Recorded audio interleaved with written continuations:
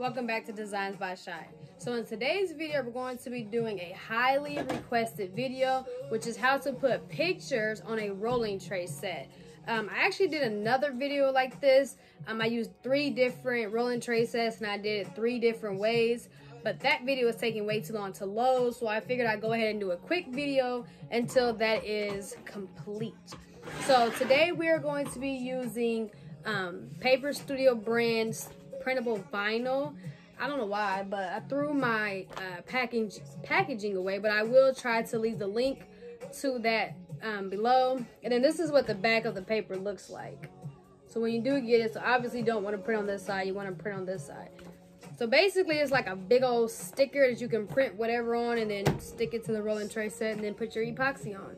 And you can also use that paper for tumblers or coffee mugs or coasters or things like that as well. All right, so let's go ahead and get right into the video. So first thing we're gonna do is gonna go ahead and do the tray.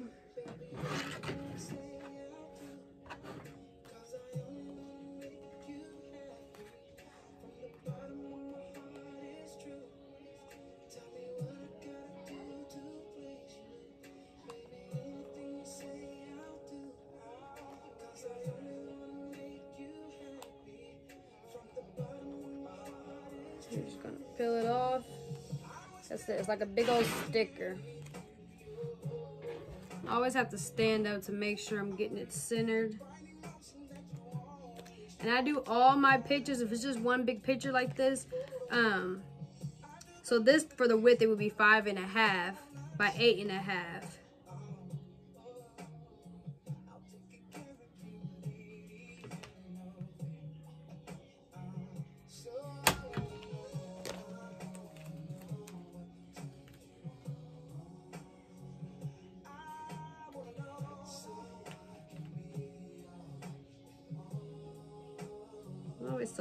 Stick this down.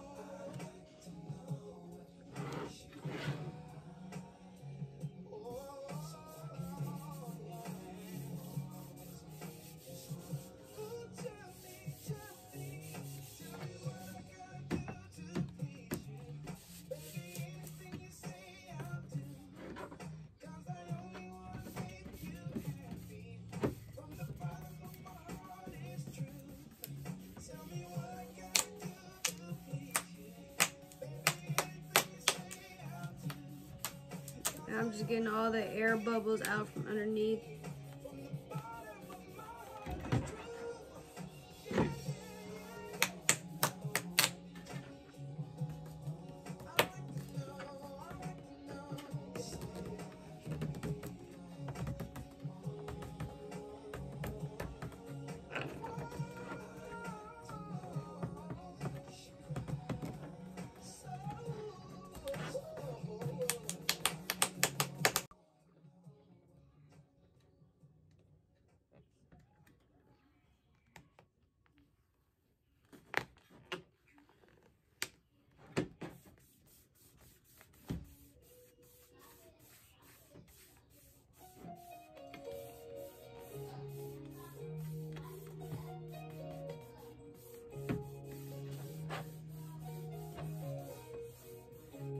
Okay, so that's the rolling tray portion.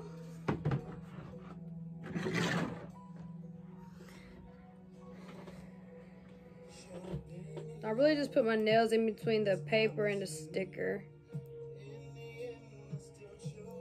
Sometimes it's kind of difficult.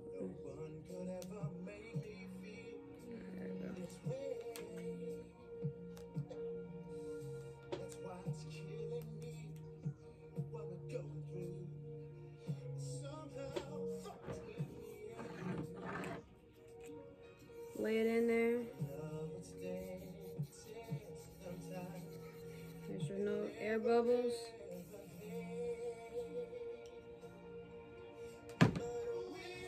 So I'm going to be putting leaves around the ashtray. And this is just regular vinyl. And the good thing about the rolling trays or the all-purpose trays um, is that you don't have to use permanent vinyl because you're going to cover it with epoxy. So you can use removable vinyl as well. This is permanent vinyl, but if I'm ever running low on permanent vinyl, if I run out and I have an order to do, then I do use removable vinyl because like I said, once you seal it with the epoxy, you can't tell.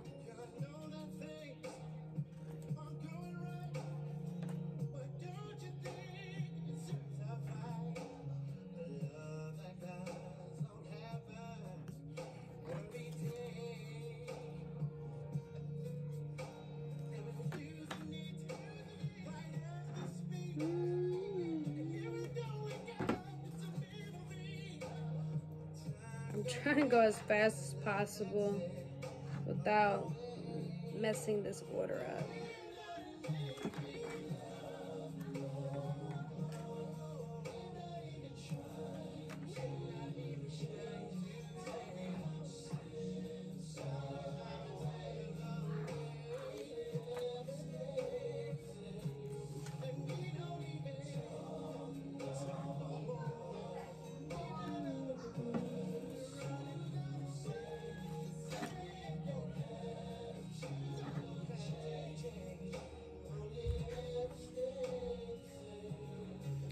That is your ashtray.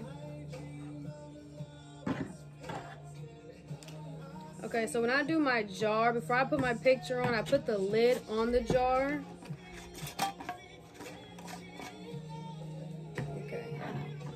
So I put the lid on the jar. So, because there's a line here, and there's a line here.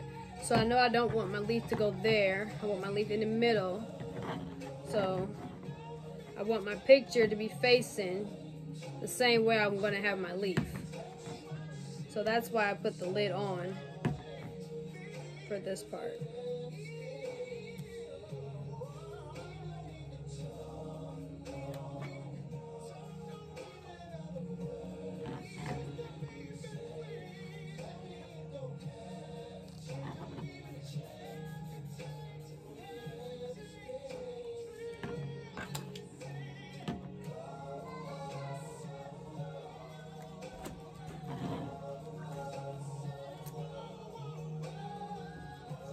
For this part, I will use my transfer tape.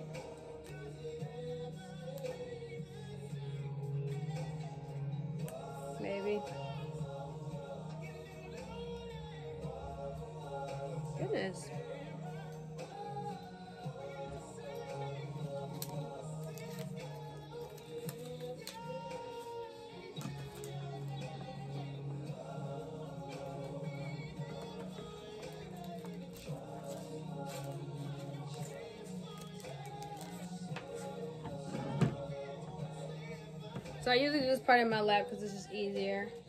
Sorry about that, you can't see. And I always do my leaf sideways a little bit. I don't know why, I just do. I think it looks better. Then I just rub it. Start with the top part, rub each side. All the way down. Sometimes you have to push the vinyl down as you pull back the transfer tape.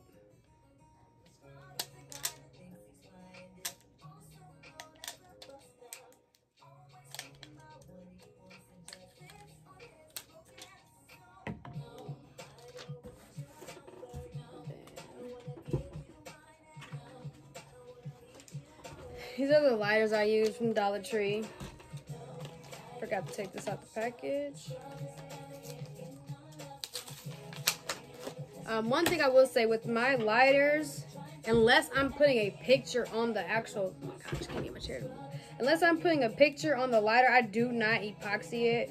Um, cause one, I mean, I'm, if I'm using permanent vinyl, then I, I don't really worry about it coming off. And for two, it's just a Dollar Tree lighter, so you don't want to waste your epoxy on that.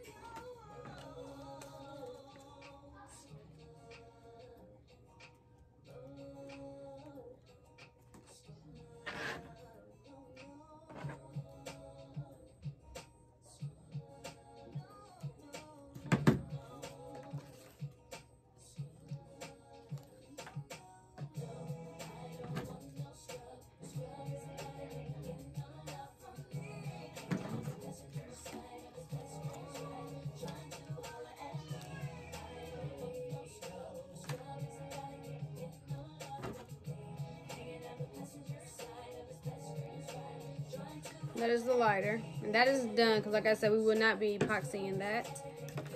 Take the lid off.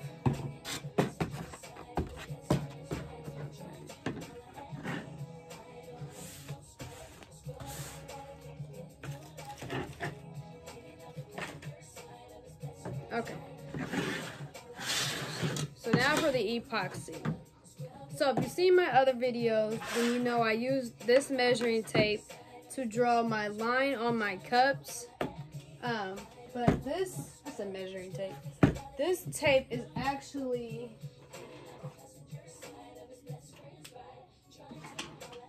this tape is actually if I was doing two rolling tray sets, and I would just take it here, and I would put it on, push the cup onto the marker, and I would just turn it. But I'm not doing two, I'm only doing one, so what I did was, I had this stack of paper, I have no clue where I got it from, but I have this stack of paper, I just made it so it could be half of the black tape, and then I did the same method. Paper here, push up against the cup, and then turn it. So that is how I got my measurement for the epoxy. Okay.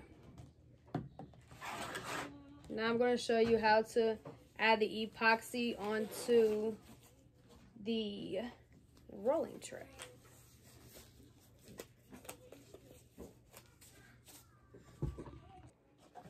Okay, so this is the epoxy we are using, and I got this from Hobby Lobby. There's two parts to the epoxy. I already have my lines marked on my cups. You want to make sure you pour the same amount of uh, part A and part B into your cups. If you do not have the same exact amount, it will not turn out right.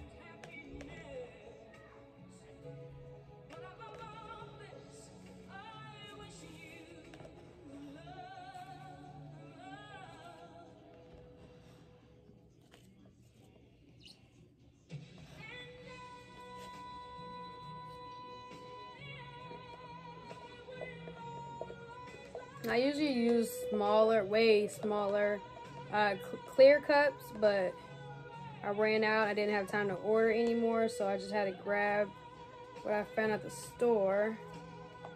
It's a lot easier and less messier with smaller cups.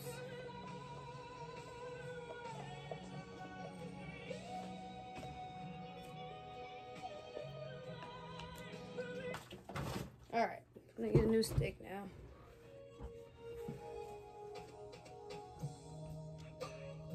Going to stir. It's going to get cloudy and then clear. So you're going to continue to stir until it is no longer cloudy and it is clear.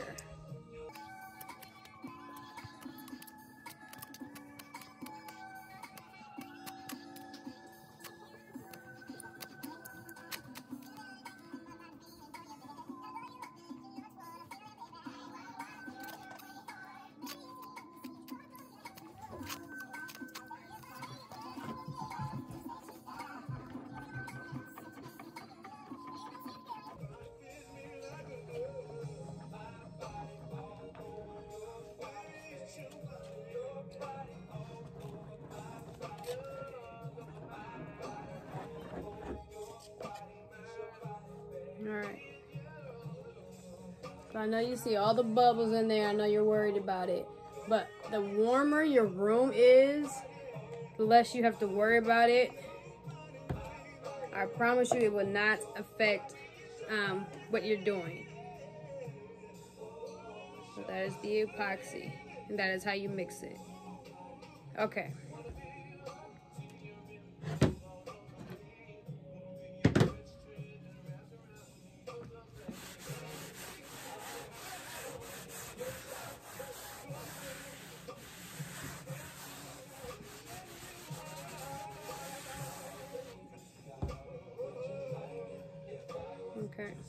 so this is what we are putting our epoxy on. All right, we got all three pieces. So the first thing I do is I pour my epoxy. Well, first thing first, after your epoxy is mixed, you have 30 minutes before it gets hot and you can no longer, it gets hot and hard and you're not gonna be able to use it. So you wanna try to keep track of time when you are doing this.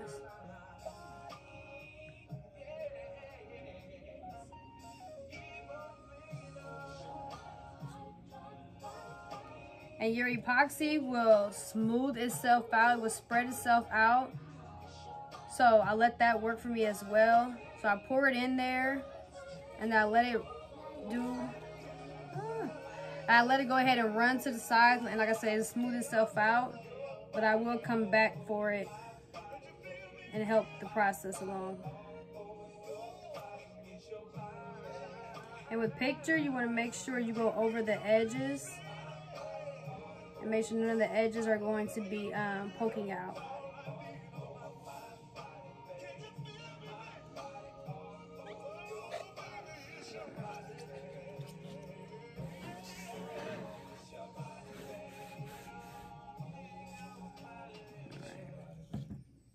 So I always do my tray first.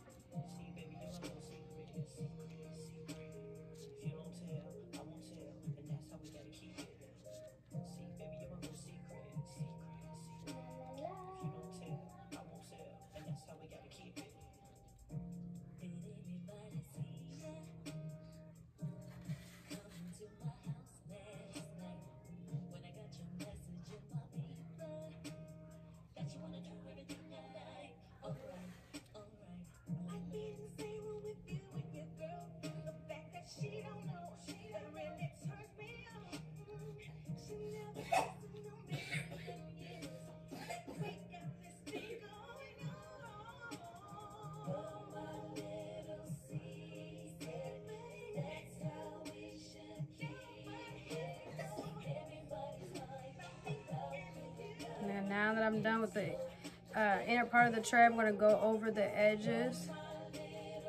Thin coat over the edges. That's just really for the paint, so I'm gonna take a chance with the paint chipping. And for a little shine to the tray.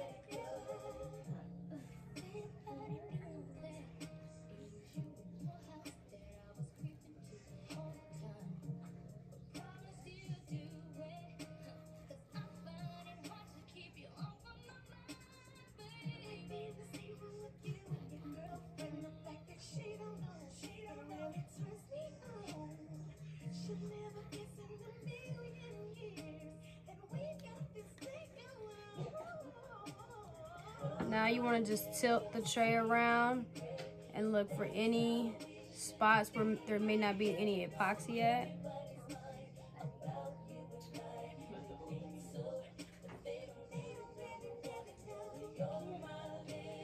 Your sides are nice and smooth.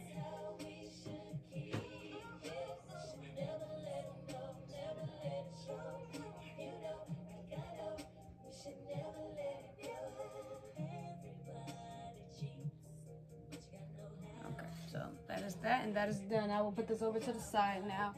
You want it on you want it to um, dry and harden on the flattest surface you have because you don't want your epoxy to run to one side because it's at a tilt. Now we're gonna do our jar.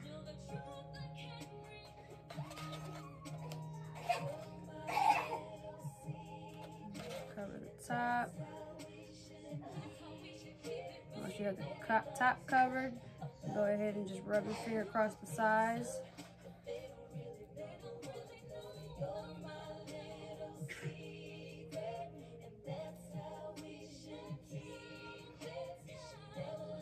Like I said, do not worry about the lines in your epoxy from your fingers because as it hardens, um, it like I said, it will, I don't know the word I'm looking for, but you know, it is spread and it'll cover all that up. So, good. All right, gonna put that off to the side now.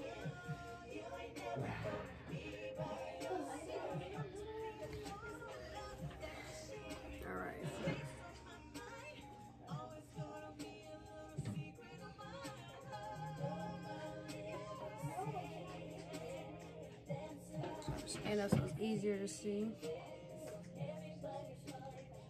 And when then when I get the bottom finished and covered, I just make sure my hand, my finger is nice and covered, and I just go around the sides.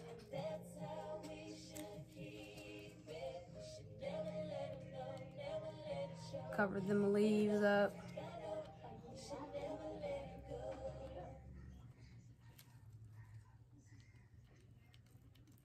This step is not really necessary as far as the size go. I guess you could have just really put it, cover the bottom up. Um, so you don't have to worry about the picture coming off. But I just do it.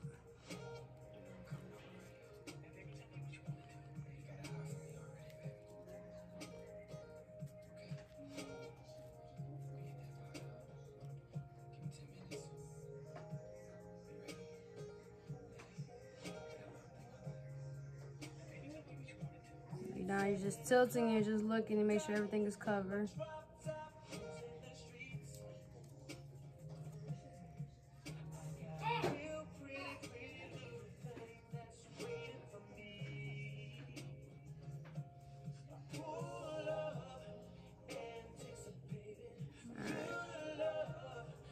There we go, there's that. Now we're gonna let that dry to the side as well. Okay, so now I am going to turn the heat up in this room, close this room off. I'm gonna turn the heat all the way up to 85 and I'm gonna let it dry and harden. And it should take approximately maybe four at least um, five hours, mm, six hours at the most. And when that is done, I will come back and I will show you how it looks.